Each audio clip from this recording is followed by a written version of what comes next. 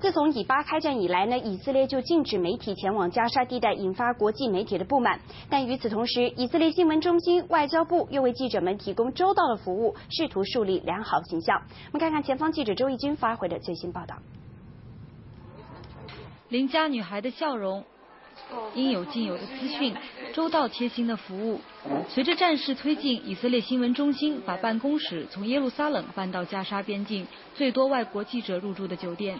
Our bureau is based in Jerusalem, as you know, but well, we work with foreign press, and we know that now, in this time of the operation, everybody is down here.